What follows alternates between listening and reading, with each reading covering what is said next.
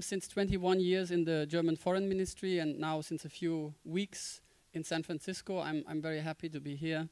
And I think that, um, I'm, and I'm very happy that you, you are here actually. There are so many people who are interested in, in Germany and in what we are doing in the field of, of energy policy.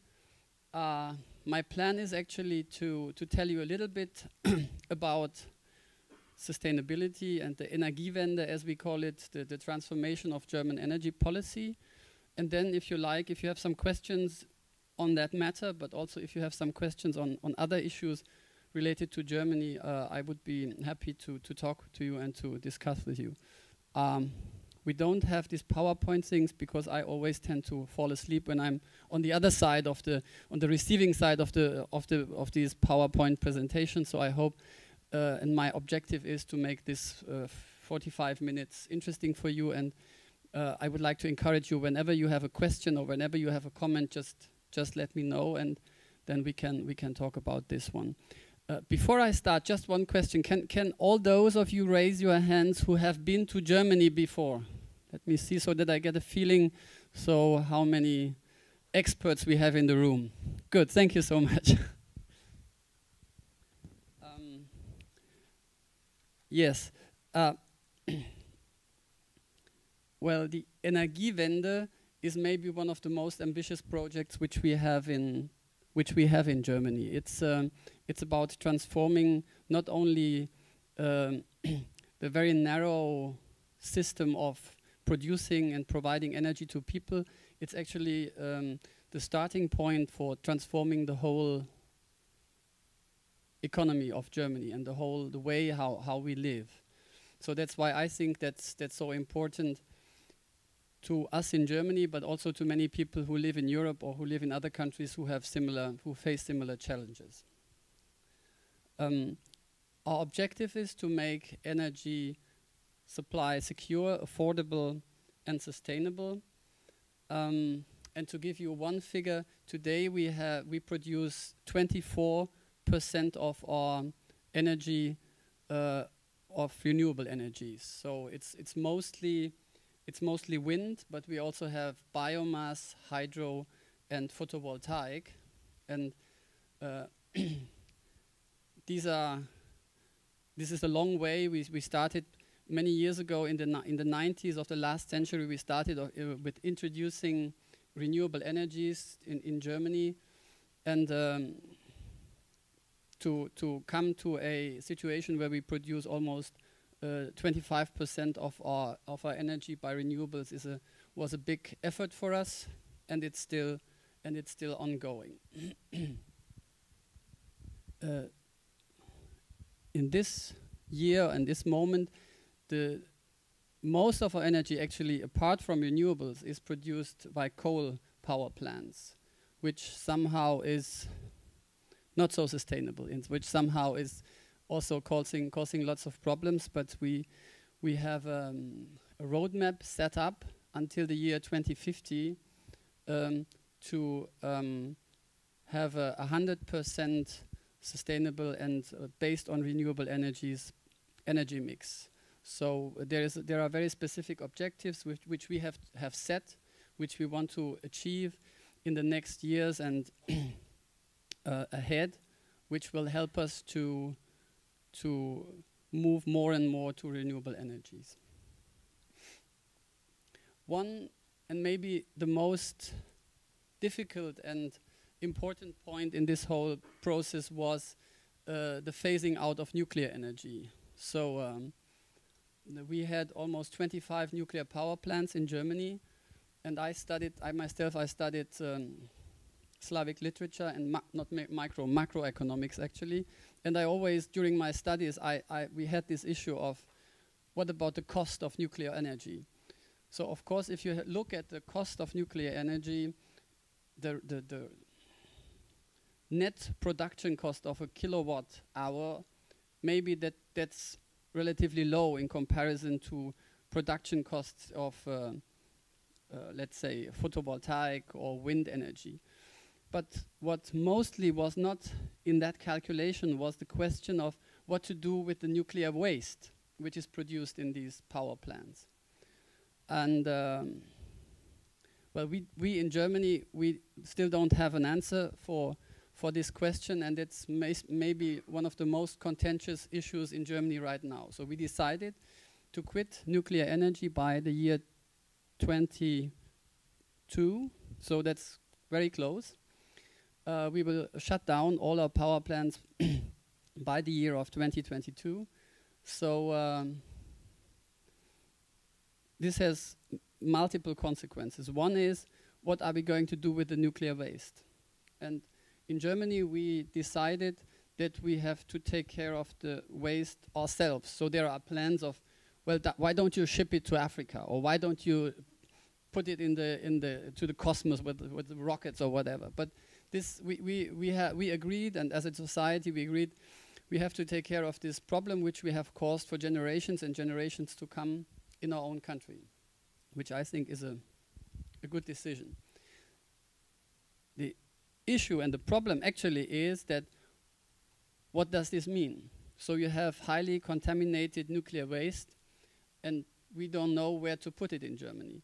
So um, what we do is at the moment there's a, a high-level commission which has been set up by the German government and by the German federal states and by um, scientists in order to find the best place for uh, final storage for this highly um, contaminated nuclear waste. And mm, so that's actually the, the well, $10 million question because no federal state, no city, no community would like to have uh, a storage facility for uh, nuclear waste in its, its neighborhood. Um, and that's one point. The other point is this storage facility will have to be taken care of for the next 25,000 years. So who's going to pay for this? And when we go to, to talk to all these energy, big en energy companies who ran or still run the nuclear power plants, well, they would say, well, why? That, that should be, the state should take care of this. Which is one point of view. But this is going to be extremely expensive, extremely dangerous, uh, as far as security is concerned, how does this facility, what, what should it be like so that whatever, no water gets in and takes um, radioactivity to, to, the, to the groundwater and all this kind of stuff. So this is a big debate going on in Germany. we don't have an answer to this yet, um, but we set a deadline, I think it's the end of next year. It's after the, we have general elections as well next year. So I think they set a deadline after the next general elections, uh, end of next year, in order to come up with a plan which will then lead to the finding of this um, place where we, where we would store the, the, the, highly contaminated nuclear energy. I don't know how this problem is solved in, the, in the United States, so if, if somebody of you knows and, and what thoughts on this, I, I, would, I would love to, to talk to you, to talk with you about that um, in a moment. So, changing the energy policy, getting uh, uh, rid of nuclear energy, um, and there's a big consensus in German society that that's the right thing to do. Uh, it entails taking care of the waste, but it also entails uh, thinking about other ways of producing energy. And what we do as and, and did and do is we built mostly in the northern part of Germany, close to the Northern Sea. Uh, we built wind parks where we generate lots of, of wind energy, which is good because it's mostly even offshore, so people would not be disturbed by the by these big towers. But most of the energy is needed in the south, where the industrial heart of Germany is and we don't have the necessary grid. We don't have the necessary, the, the, well, physically the cables to bring that um, electricity south. So the next big problem which we face is to renew our grid. So we have to build thousands of kilometers of um, grid for, for our, for our um, electricity. And that means, again, who would like to have these high masts with the energy, uh, the um, electricity cables on on his in his garden or in his community? So uh, to come up with a plan which somehow connects wind energy, the production of energy, with the consumption of energy, which is in the south, is a, is a big task which we are facing. But I think we discussions have been successful, and now the, the plan for this new grid has been has been set up, and I think we are going to build it in the next months and years to come. So it's there are still some some details, but it's not such a such a contentious issue as the as the nuclear waste issue. So um, that's one that's one element, and um, in order to achieve our objective, to be in the year 2050 completely non-reliant on uh, carbon fuels. Um, there are other dimensions, other dimensions related to the use of energy or to the storage of energy. So let me see. Um, well, first is the question of efficiency. So we try to be highly energy efficient in Germany. That goes to construction of houses. So when I moved here to Los Altos a few weeks ago, and I saw, for example, the windows and the doors, well, I was a little bit surprised because that's well, that would not be the way how, how not because of wood or not wood or other, but just as far as isolation is concerned, or you say insulation is concerned. As far as insulation is concerned, that seems to me, but in Germany this is very important. And uh, the European Union actually, many people criticize the European Union, but the European Union actually they they issued a directive. So those of you who are in the European Union business, do you know that that's something like a law which which should be enforced for the whole of the European Union. So there's a European law saying that starting in, in the year 2021, only zero energy houses, so energy houses which with a uh, which are so well insulated that non no energy would get out of windows or doors or whatever, or that it's generating its own energy, so that it would not need additionally additional energy additional energy coming from from other sources. Only those houses are allowed to be built in five years, which I think is quite ambitious. But uh, we are we are going to do this. so, changing ener energy policy would also entail building other styles of houses. It has a very very um, consequences in many fields. So, how big the windows are, how how um, high houses might be, um, how you do air conditioning in, in buildings. So it goes to, to many details as far as construction is concerned. Um,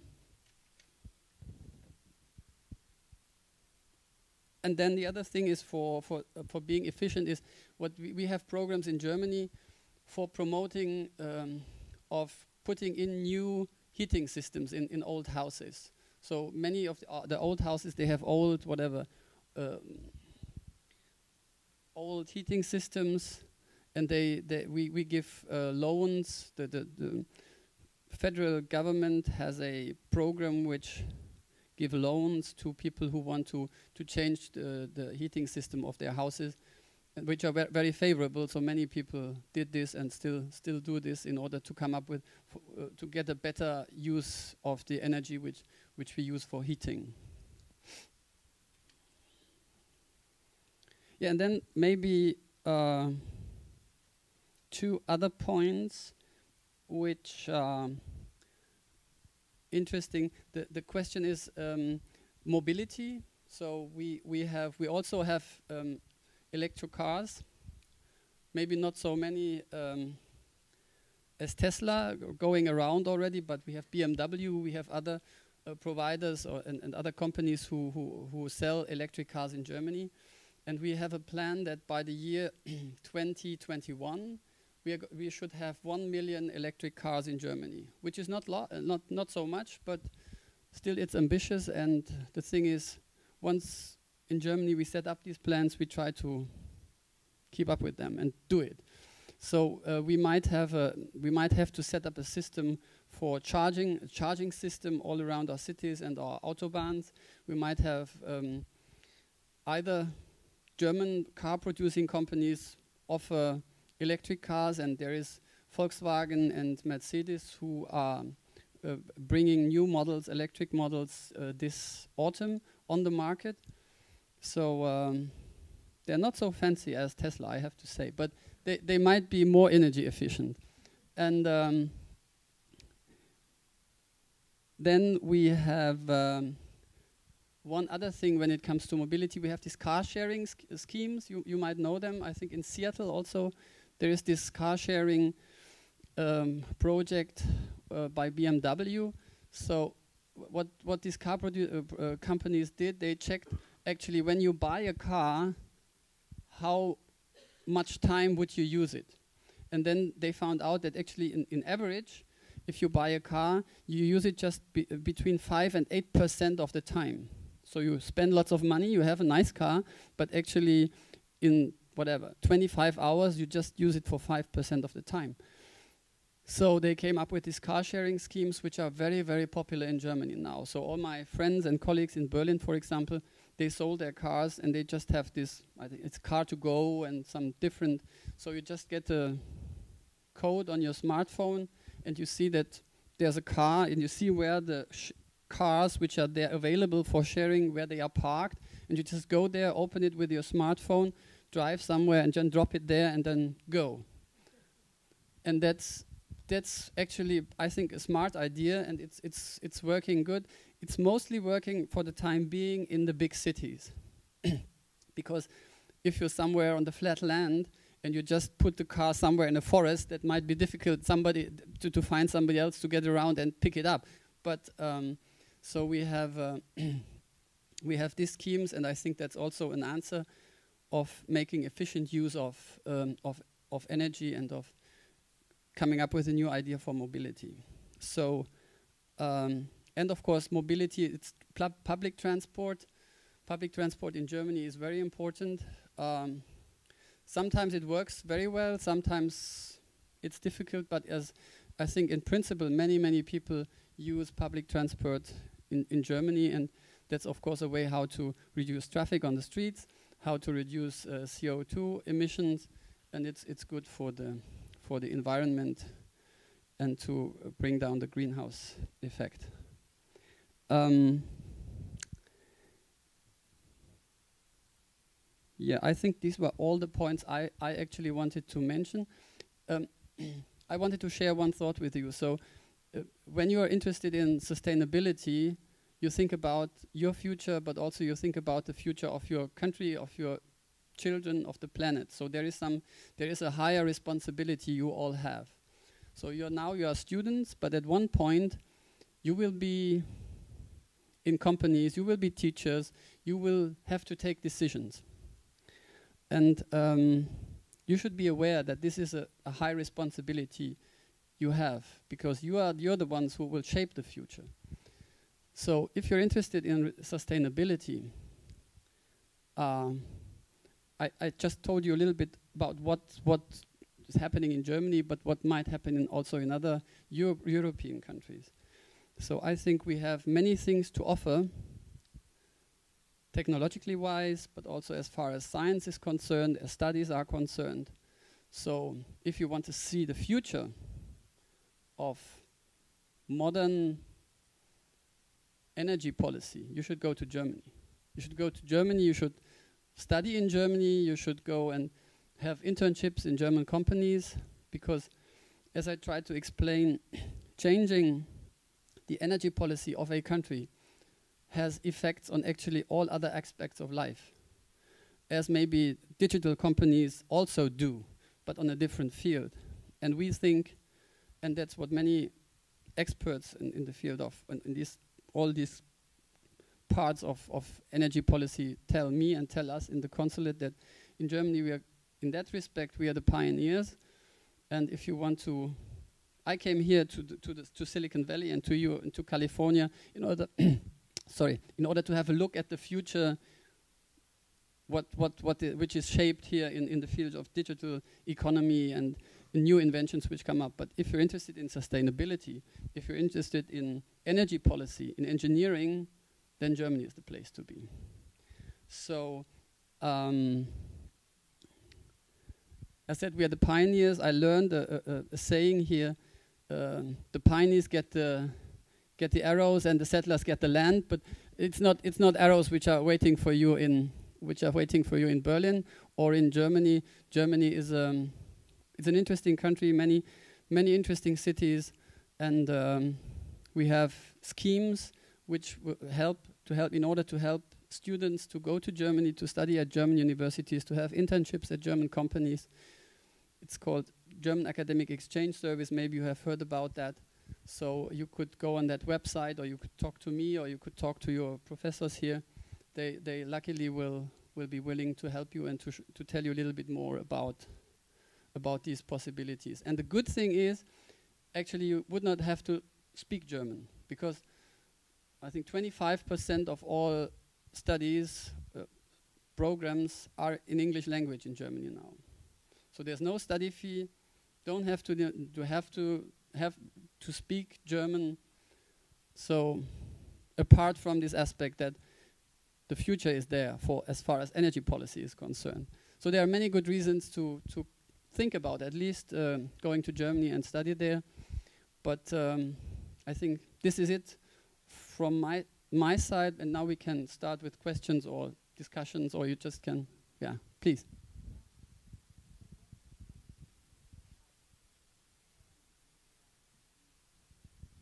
But th that's that's completely open to everybody.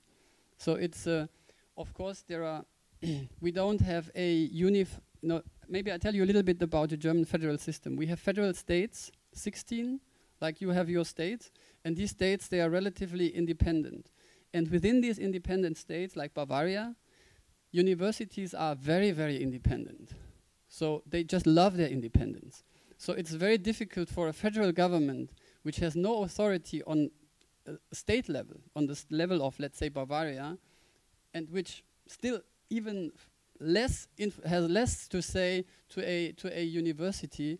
It's very difficult for us to bring them online or to tell them, or why don't you set up a program for foreign students, which is which just goes for so it's good and bad as always in life. So when you have a specific interest, actually on this, it's very easy to find the the right university for you, and then they might be more inclined because you have this specific interest to to accept you and to take you as a student. But there there are no specific majors or or, or uh, fields of of uh, research which are which are under focus. So we are quite open in that respect.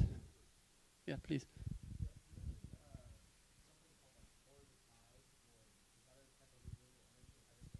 Photo, sorry, photovoltaic. Yeah, so I maybe I, I pronounce it the German way. You know, Germans they have this. Sorry. yes, please.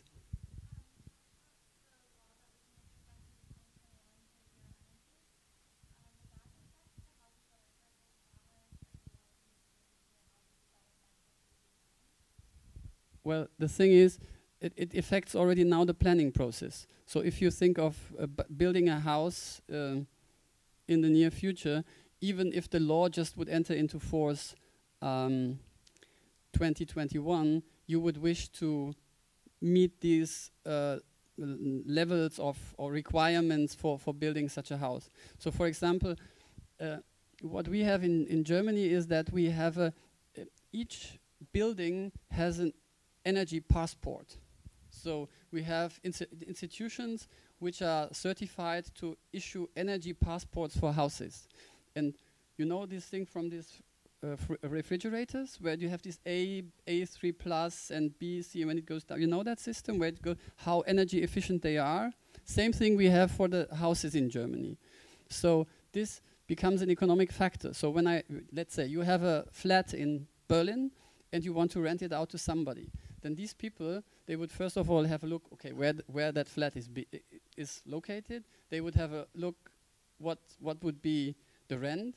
But the third thing they would look at would be wh where's the energy pass and then they would see because it's the better it is the lower the additional costs you will be you will have when you when you live there. So uh, this is uh, by law an addendum to the to each a lease contract has to be this energy pass. So that everybody knows actually So you could have a relatively low rent, but then you could have whatever 500 euros for water and electricity and whatever. So people would maybe shy away from from going to houses which are not so energy which are not so energy efficient. So that that has actually major impact on all of the things which which go on right now. Please.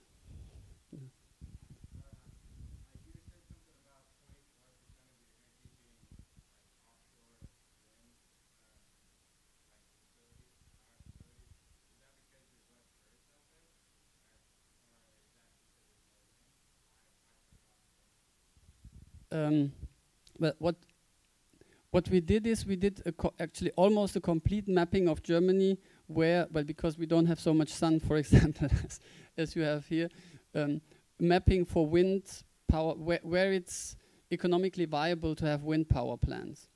And then we came up that there are a few places on ground, but most of the most efficient places are just offshore. And you don't have the issue of neighbors. So because uh, it might look quite romantic to have one of or two of these towers close to your house, but most people wouldn't like it. And there is some noise which is related to that, so it's easier. Nobody would bother. No neighbors would say, I am not. Um, I'm against this." Make law, have law law uh, suits and and all these kind of things. So it's just easier and more more efficient to have these offshore parks. Yes, please.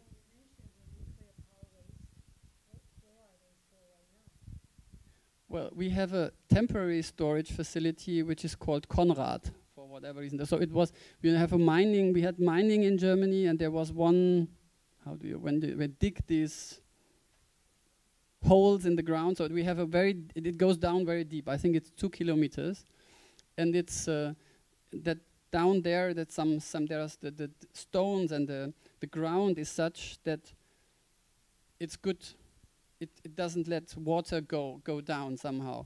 So they put it there, uh, but that's just a, that's just a temporary solution. So for the time being, they store it on the sites of the nuclear power plants themselves, or they bring it to Konrad, which um, works for the time being, but which will not work for for the future. That's why they are looking for this final uh, dep depository for for for highly contaminated nuclear waste. Yes. Mm. Yes. Well, that's maybe also a solution. I don't know. We don't have. we we also have islands, but we we would use them in a different way. so, but there were other comments, or maybe lady here, and then go. Yes, please.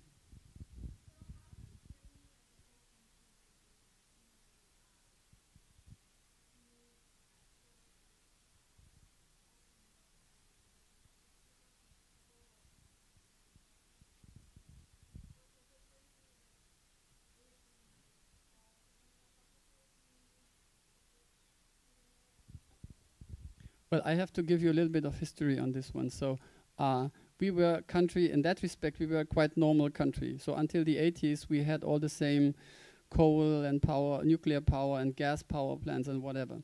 But then um, actually we had a movement the, green movement so for um, environmentalists and all these people and they formed a party which somehow became successful which became uh, parts of uh, which which had members uh, of the party in our in our parliament, and they were even for a few years they they were a co coalition partner in our federal government.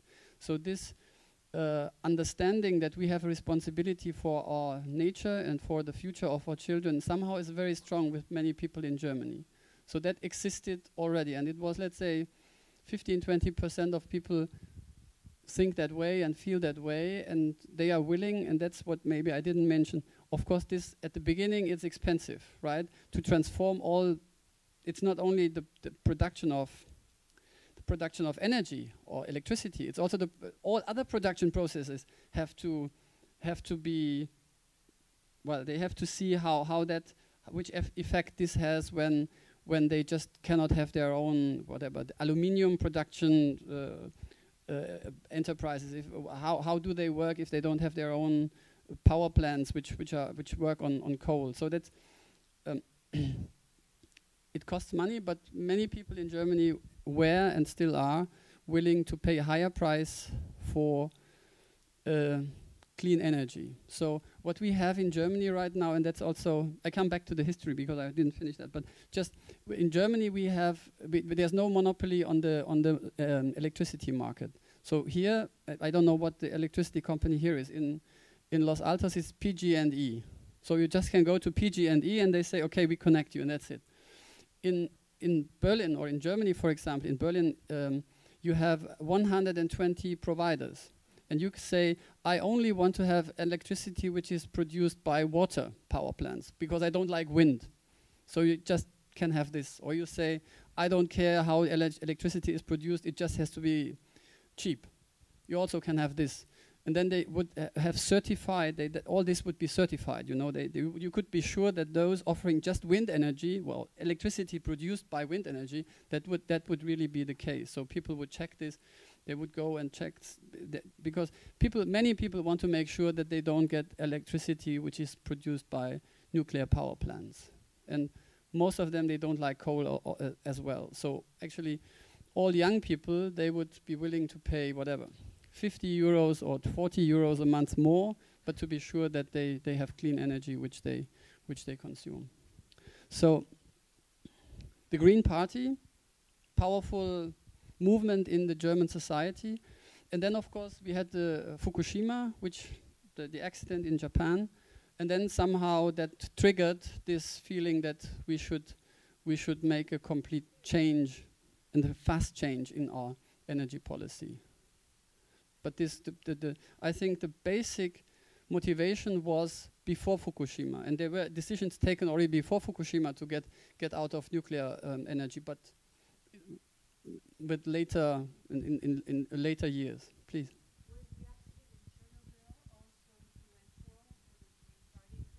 It, it, gave a big push to this movement. So in uh, 1986, we had this um, horrible accident at the power plant in Chernobyl, and then this this somehow brought many people. You, we had we had big demonstrations, sun, many Sundays all around the country against against uh, using nuclear energy. So that that was a big factor as well. So we go this way, please.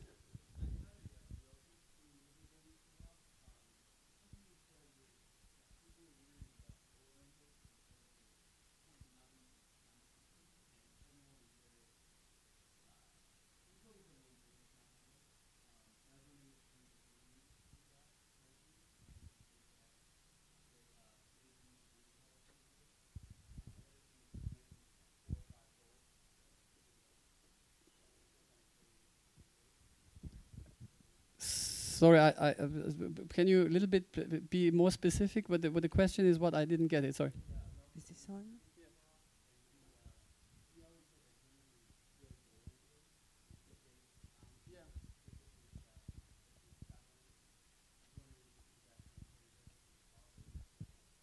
Well, that yeah yeah. I, I now I got the question. Sorry. Um, yeah, of course. But we we uh, people they in Germany like to plan somehow and they like to set up some deadlines and then they in principle they that's how we move forward. So so that's we we think that and of course setting deadlines let's say for the for these energy companies who produce still produce nuclear energy is also important because they have to have some time to build back so or to de demolish the nuclear or not to build but to build back nuclear power plants. So this takes time and then we, of course, have to make sure that when we don't have nu any nuclear um, energy anymore in Germany, we can we have other energies in place or uh, other production techniques in place which um, replace nuclear energy. Of course, we have a European grid, so we could get uh, other electricity from other European countries. But the question, the, the idea is that we will be self, uh, but that we could produce uh, the energy we consume by, by our own production means. What I forgot is we had in the, uh, let's say, in the 90s of last year, we, uh, of the last century, in the 90s of the last century, we had actually a big um, support program, big subsidies of the of the federal government for setting up these solar panels on roofs. So you would, when you go to Germany, you would see many houses with these solar panels, and that uh, uh, allows everybody to produce his or her own energy, and even if you produce excess energy to to feed it into the grid and sell it to to to to the those companies uh, offering offering energy in the in that specific region. Please.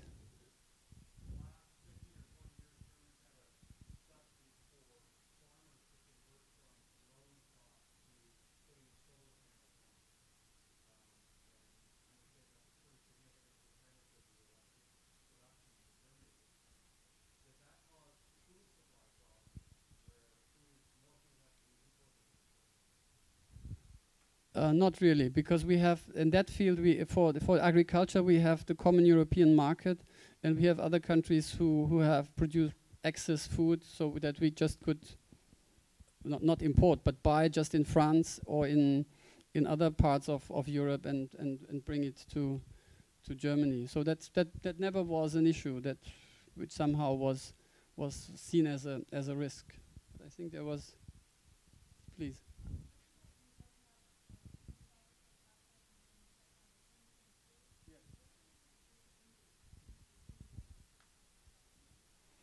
Well, we, we disassembled already some of them. Some of the older ones have been or have already been disassembled, and they have have to be stored. So you can you just shut them off, and then I think a friend of mine is an engineer working in that field. So uh, you shut them off, and then I think you have to wait one or two years, and then you can start um, building back or uh, the, the um, power plants, and then they have to be stored. Most of that material, which of the power plants as such, it's not highly contaminated. So you could put it to Konrad, to this uh, temporary place, which would be, but some of the parts would have to be put at other more safe depositories. There was some other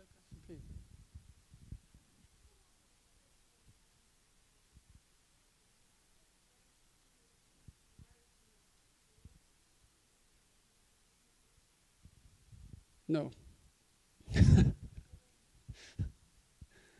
Sorry. We go to this side. Please.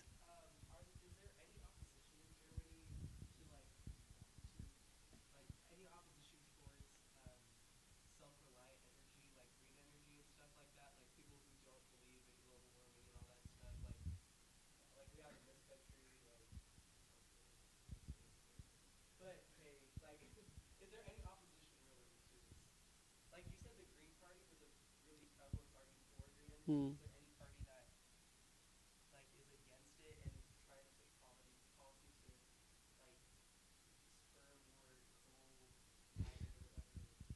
Yeah.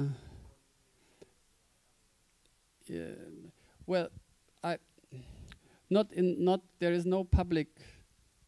Mm, there's no there's no opposition which is voiced by by people let's say, who would go, get, go out on the streets and say, we want our nuclear power plants back, something like that. That doesn't, that, that doesn't exist. But, but just one second. Th there is opposition in a way that, of course, those companies who run nuclear power plants, they have an interest in running them as long as possible because th the longer they run, the, the more uh, profit they can get out of that. And they have ways of trying to influence policy and trying to to create exceptions and trying to create a public have an influence on public opinion. But this doesn't work right? So because i, I, I personally would say 98% of people in germany just they they are in favor of that. They see this change of the energy uh, policy as a big chance for germany we are world, world leaders in many, many fields as far as technology is concerned, as far as thinking through the whole process, what that in, in what, what entails this transformation is concerned. So there is no public opposition, but there is, of course, there are people who would like somehow not, they, they know they cannot turn the clock back, but they know that they maybe can influence the processes in order to gain a little bit more time.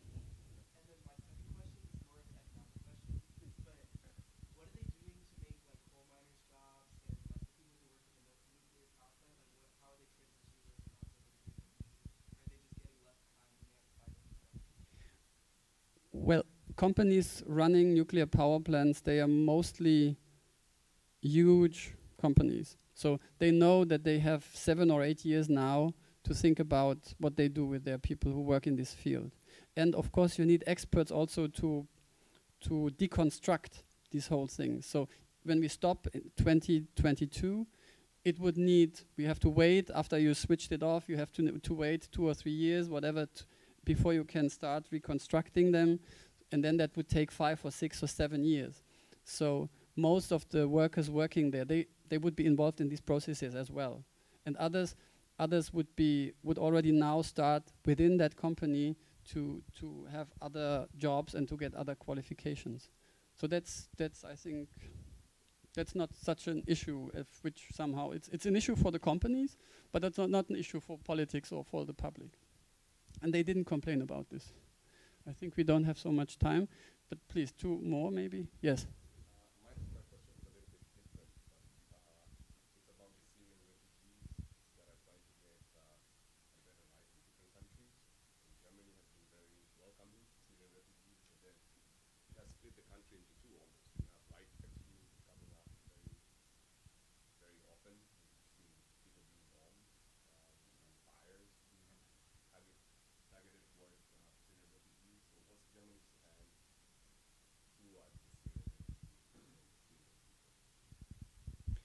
Well, this is indeed a, a different aspect of politics in Germany.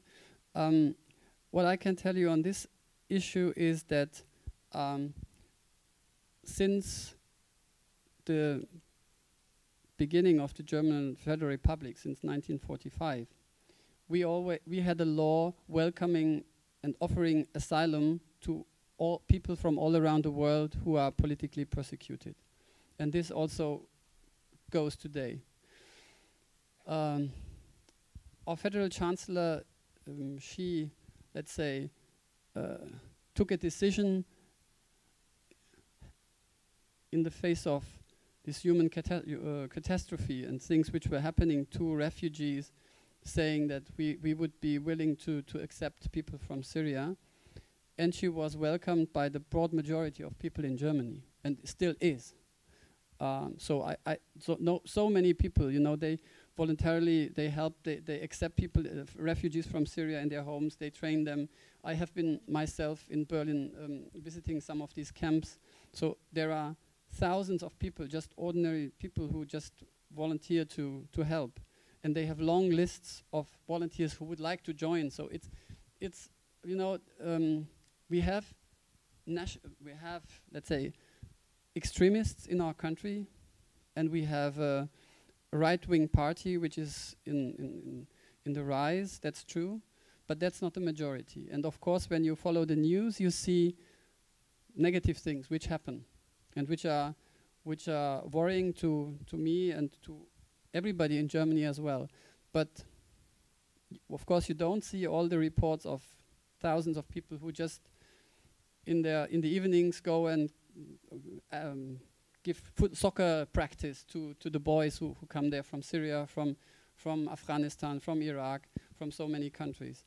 So we have, um, we feel a commitment which goes back to our history, to what we have experienced and what we did in, in the last century. And we think that this is a, a moral commitment, and we stick to this, and we uh, know that that's not, not easy for many people in Germany as well, because they feel, well, what's going on. We have media, which again somehow highlights many negative things. That's the way how media works. But uh, we have many, many very positive things, and I think um, it's difficult, but um, I think this won't change. So that's part of our constitution, and this openness for people who look for political asylum, this will stay.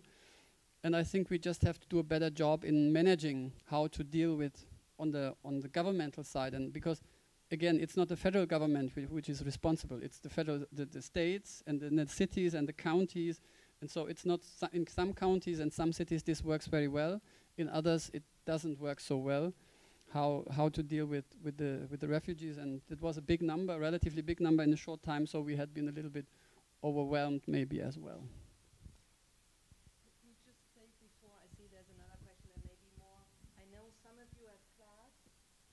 To go um, to your job, um, feel free to do that. And I would like at this point to thank um, Herr Heinz already for his presentation and for answering your questions.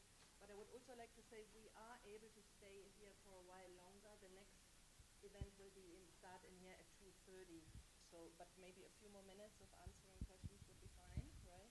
Well, I'm here, and when, when if there's anything I can say to you, my, my pleasure. So those who are going, uh, uh, Mr. Heinz mentioned earlier internship and study opportunities in Germany. There's information material by the German Academic Exchange Service in the back on the table, so have a look at that. Yes, don't leave because there is something which is very, very uh, nice. It's it's called Baedeker. It's actually a travel guide. So we have many Baedekers since uh, hundreds of years, I would say. But this is a, a, special one, which is on renewable energy. So you can go through it, and you would see all different re uh, renewable energy projects in different parts of Germany. So I put some of them there on the table, and you can grab one and and take it with you if you're interested. Okay.